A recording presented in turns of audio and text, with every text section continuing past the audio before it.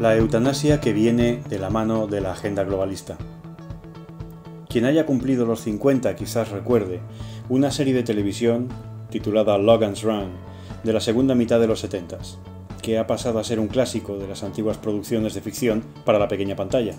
El argumento planteaba una sociedad en el futuro gobernada por una casta de líderes de la que la población solo sabía de su existencia, pero a la que nunca llegaba a conocer. En esa sociedad todos eran jóvenes, porque conforme sus miembros iban llegando a los 30 años de edad, eran eliminadas en una ceremonia mediante la que partían hacia una existencia mejor. Una ceremonia a la que los destinados a desaparecer asistían encantados porque desde niños habían sido enseñados en esa creencia, pero la realidad era bien distinta. Lo que realmente sucedía en cada ceremonia era que todos los que cumplían 30 años eran asesinados.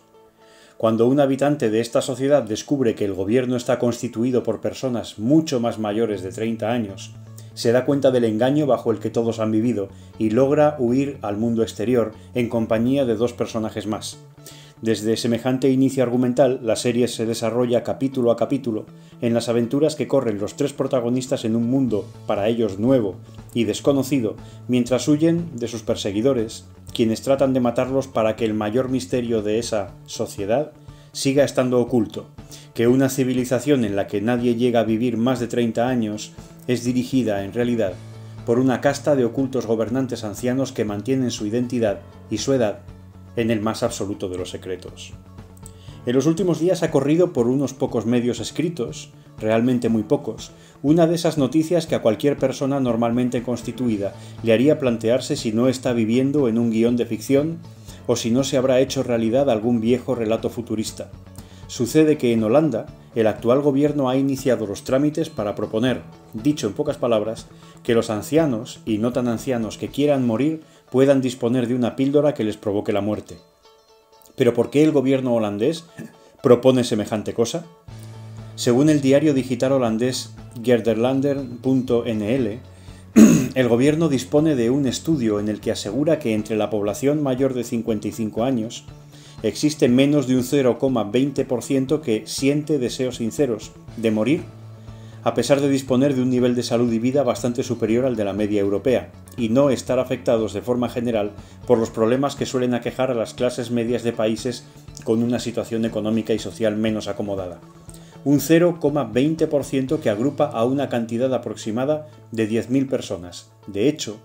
en la última campaña electoral para la presidencia del país, el Partido Liberal D66, que ahora forma parte de la coalición de gobierno, tenía en su programa una propuesta para reivindicar el derecho de las personas mayores a disponer de una píldora con la que poder suicidarse. Ahora, desde su puesto en este gobierno, van más allá y presentan un borrador de legislación sobre el asunto, como si se tratase de un caso de emergencia nacional. Los diputados de este partido D66 justifican su prisa por aprobar esta ley en el supuesto hecho de que muchos ancianos esperan con ansia y esperanza el poder acabar legalmente con sus propias vidas. Exactamente igual que el abominable y degenerado interés por normalizar las relaciones sexuales de adultos con niños, que desde hace dos décadas vuelve periódicamente y cada vez con más apoyos, la estrategia de hacer aceptable para una mayoría social el suicidio o incluso el homicidio, disfrazados con el término eutanasia, también regresa periódicamente a la actualidad. Al igual que la pedofilia, cuando en los 70 Jean-Paul Sartre, eh, Simone de Beauvoir y otros depravados intelectuales la defendían en entrevistas en los medios de comunicación, la eutanasia voluntaria también tuvo sus propios paladines en Europa.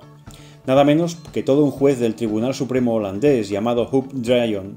quien también fue académico, profesor de Derecho y ensayista.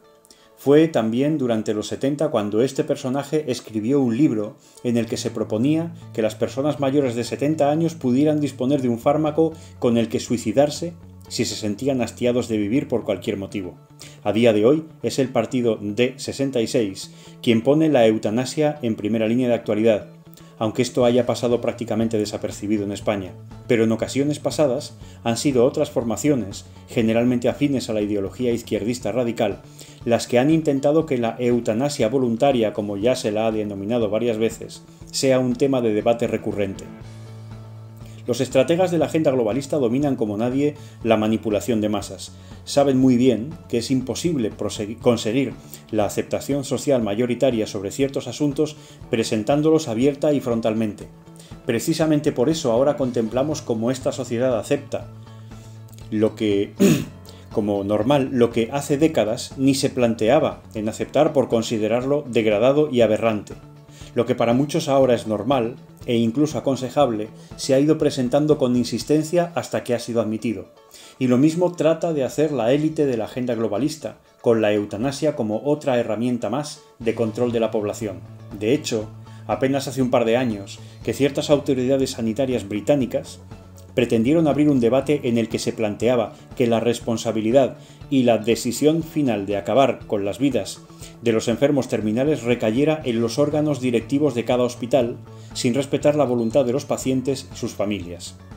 Estas propuestas contra la dignidad, la razón, la moral y la libertad son cada año que pasa más extendidas. Hace tiempo que dejaron de ser ocurrencias casi exclusivas de países como Holanda y Bélgica.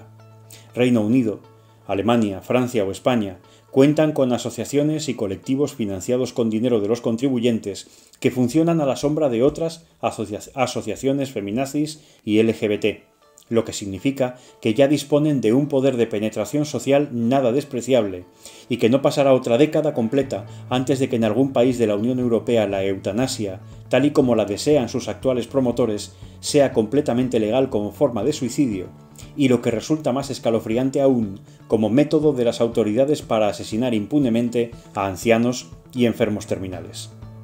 Hace muchísimo tiempo que la práctica totalidad de las propuestas de la clase política y sus aledaños del crimen y la delincuencia solo me provocan dos tipos de reacción, o bien me indignan, o bien me llenan la sangre, y en no pocas ocasiones ambos sentimientos surgen a la par. Esta es una de esas ocasiones. Buenos días, buenas tardes, buenas noches a todos.